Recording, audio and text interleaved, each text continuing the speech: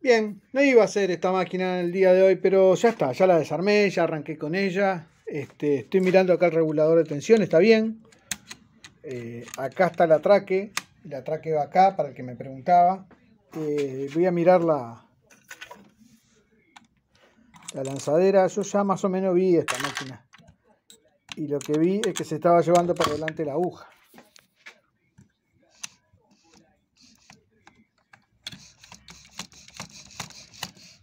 Y esto. A ver qué pasó acá.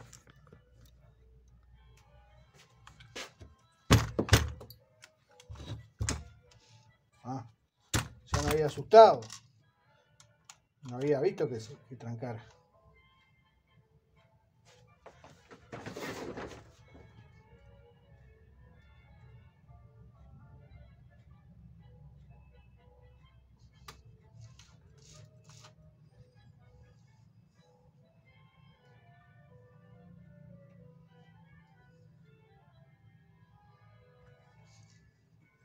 No, sin embargo está bien esto. Vieron que viene una partida. Está marcada acá arriba como que haya roto un montón de agujas, pero no, no se está por llevando por delante la, la lanzadera. Bueno, vamos a limpiar el regulador, lubricar y armar. Esta máquina no tiene muchas cosas. Este, ahí el hombre que me preguntaba del cigüeñal. Arriba. Bueno, acá en la punta no tiene importancia cómo se ponga el volante. Este sin fin es el único que se puede girar. Después esta pieza, que es la que mueve la lanzadera, eh, tiene un tornillo, un orificio, el eje, que es, eh, pasa de lado a lado. Se puede poner en esta posición, que es la correcta, o lo pueden poner al revés, que, pero se van a dar cuenta, porque cuando la punta de la lanzadera debería recoger, está la cola de la lanzadera arriba, está al revés.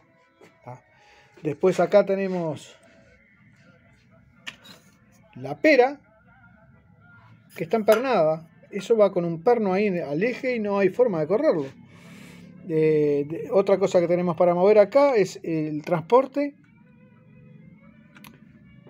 Que está ahí, el transporte. Después no tenemos nada más.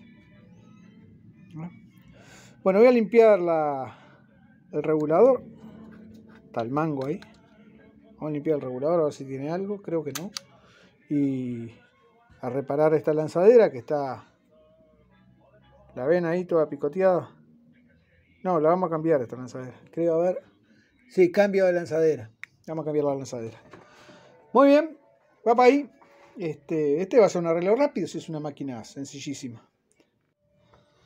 Bueno, vamos a mostrar cómo nebrar y cómo se usa esta máquina. ¿Mm? Que no se preocupe la señora, que la vamos a limpiar. Bueno, esto viene.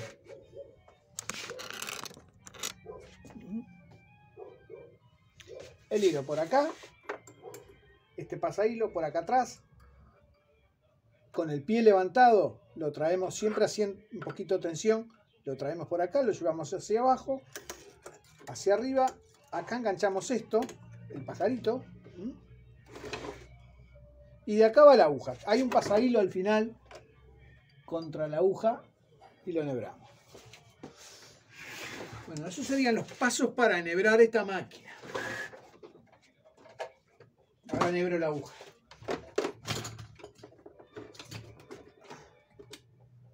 Bien. La aguja se coloca la cara chata hacia atrás. La voy a girar para enhebrarla porque no, no puedo, si no.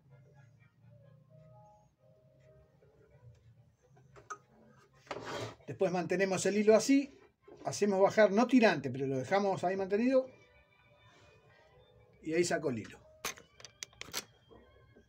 Vamos de vuelta. Mantenemos el hilo así no tirante, flojo, y cuando sube la aguja, pegamos y saco el hilo. Pegamos el tirón, ¿no? Bien. Vamos, un pedacito de tela.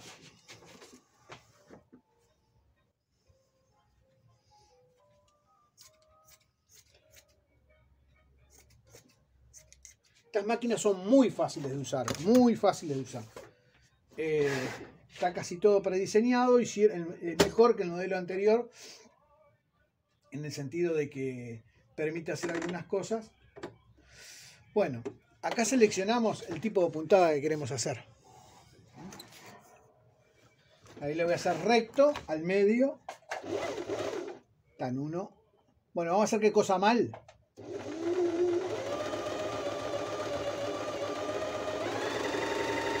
No sé si lo hará, pero...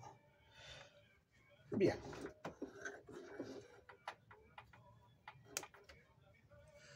Si usted se pone a coser y arriba le queda así, está bastante bien. Pero al abajo le hace eso. ¿Ven que está flojo? ¿Mm? Eso sucede porque la máquina esté mal, es raro, pero lo primero que hay que hacer es que esté bien enhebrada la máquina. La desenebramos toda y la volvemos a enhebrar de vuelta con el pie levantado. Después, acá en este caso cosió flojo porque está en el cero. En cero no debe trabajar. ¿Mm? Tiene que estar todos tres. El fabricante dice que entre el 3 y el 5 lo pongo ahí. Seguimos cosiendo al costado de donde cosí para que vean la diferencia. Bien contra el borde de la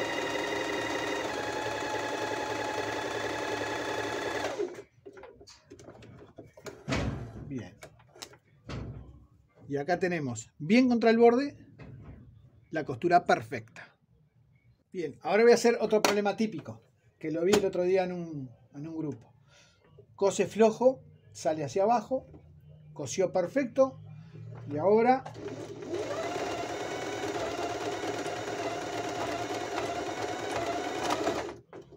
Bien.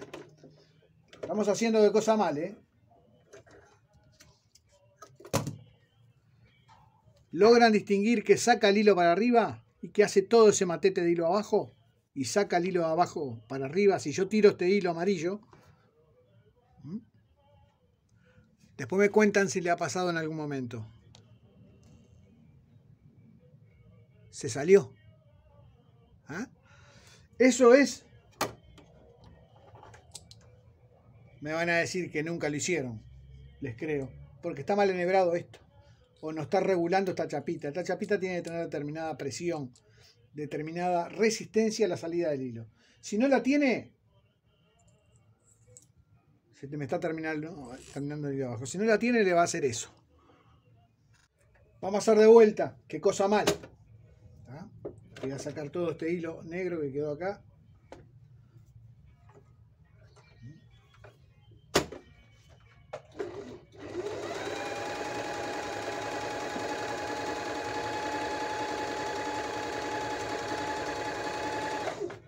Si usted se pone a coser y la máquina le hace esto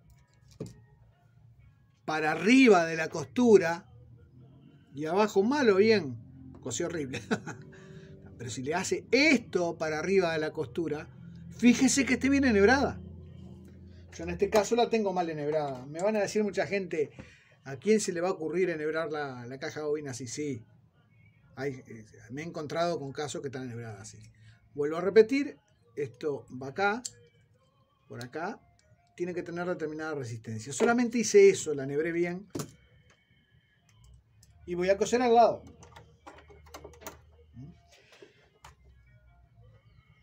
Bueno, como consecuencia de esta costura que hicimos recién acá, si yo agarro este hilo, ¿ven? Se desarma la costura. Ahora la nebré bien.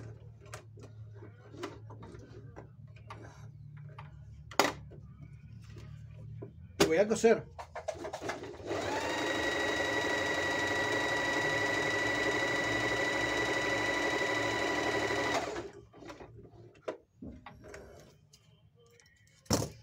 Ahora la costura arriba es esta que está acá y la costura abajo. Está perfecto. Bueno, para quien me preguntaba, y ¿dónde está el atraque? Lo tiene delante de sus ojos. Está acá. El retroceso está ahí. tiene una flechita que tiene una vuelta hacia atrás, ese es el retroceso. Después tenemos acá en el regulador de puntada, recto, recto sobre el lado derecho, va a seguir cosiendo recto pero sobre el lado derecho del pie. Y acá pasamos a zigzag. Cuanto más grande lo ponemos, está marcado en los dibujos, ¿no? Pero cuanto más hacia la izquierda lo ponemos, más ancho es el zigzag. Vamos, vamos para ahí.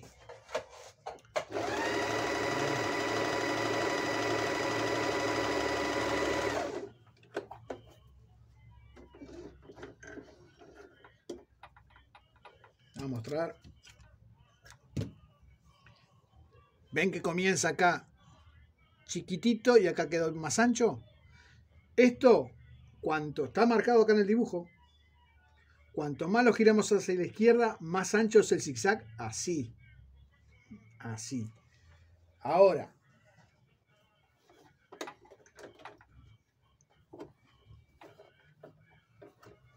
Este es el regulador de puntada. Este es el que regula el largo así. ¿Mm? Si yo me pongo a coser y lo entro a achicar, achica para el cero,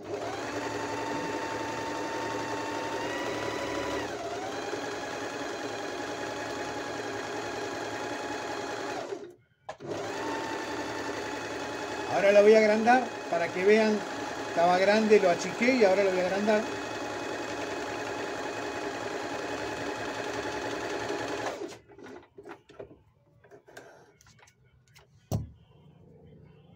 ¿Vieron?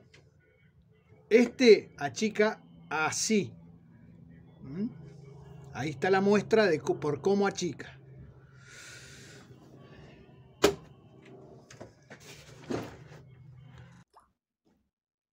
Estupendo, bueno. Eh, ya hicimos los puntos, ahora vamos a ver cómo hacemos el ojal automático en esta máquina. El ojal automático ponemos en ojal, esto lo ponemos donde está indicado ojal, más o menos por ahí. Tenemos todo esto para achicar y agrandar, para, eh, ese es el tamaño de la puntada en el ojal. Este, se puede variar un poquito. Después,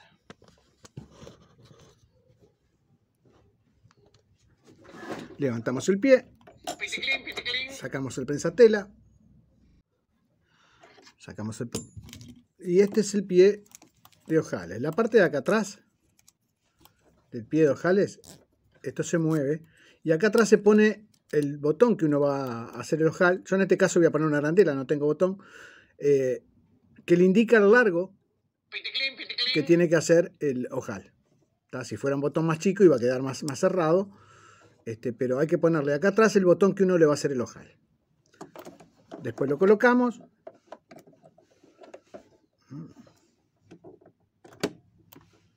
Y ahora sí, vamos a empezar a preparar la máquina.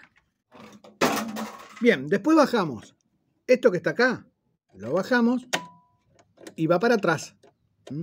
Ya al bajar pega en este labio y va para atrás, pero nos aseguramos que vaya para atrás. Ahora, le ponemos la prenda, en este caso va a ser un pedacito de tela que yo tengo acá para ese fin. Bien, ahora pongo la tela y piso el pedal. Esto para atrás.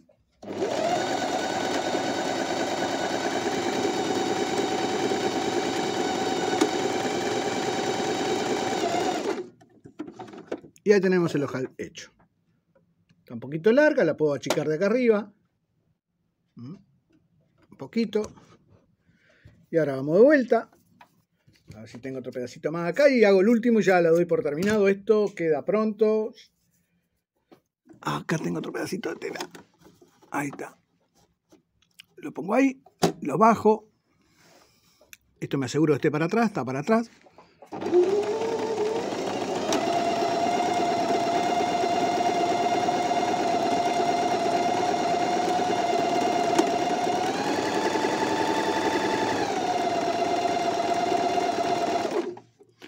Y estamos pronto.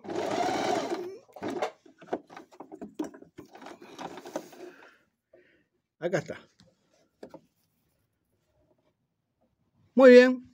lo damos por terminado, esta máquina está terminada, eh, pero le voy a dejar el pie de ella común, esto lo vamos a subir para arriba para poder coser y estamos. Hasta luego gente, que pasen bien.